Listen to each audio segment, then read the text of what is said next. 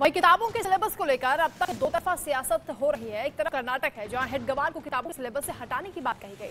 तो कांग्रेस नेता बी के हरिप्रसाद ने हेडगवार को कायर कह दिया और किताबों में उनको पढ़ाने पर एतराज़ किया। कर्नाटक में कांग्रेस सरकार के आते ही सिलेबस पर विवाद हो गया। सिद्धारमैया सरकार स्कूल की पाठ्य में बदलाव की योजना बना रही और इसी बात को लेकर कर्नाटक में राजनीतिक टकराव हाई मोड पर है। दरअसल अस्थि संस्थापक केशव बलिराम हेडगवार से जुड़ा पाठ हटाने पर विचार किया जा रहा है। रिपोर्ट के मुताबिक ये फैसला बेंगलुरु में शैक्षिक सुधारों पर एक बैठक में लिया गया। इस बैठक में मुख्यमंत्री सिद्धारमैया और स्कूल शिक्षा मंत्री मधु बंगारप्पा ने हिस्सा लिया था। तो सवाल है, क्या वाकई में सिलेबस बदल की आवश्यकता है या फिर हेडगवार पर कांग्रेस राजनीति कर रही है?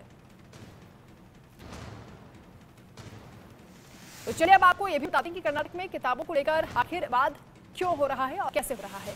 दावा यह किया जा रहा है कि कर्नाटक सरकार ने स्कूल की पाठ्य पुस्तक में बदलाव की योजना बनाई है।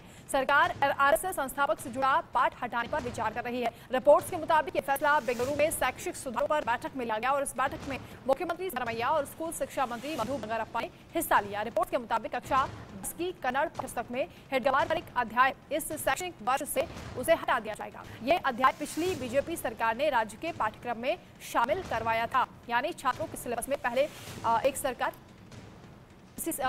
अध्याय को ऐड कराती है और फिर दूसरी सरकार आती है। तो उस अध्याय को हटाने पर राजनीति शुरू हो जाती है। तो विवाद इस बात को लग रहा है कि हेडगवार को पाठ्य पुस्तक से क्यों हटाया जा रहा है? सवाल ये भी कि छात्रों को ये कैसे समझ में आएगा कि क्या पढ़ना है, क्या नहीं पढ़ना है।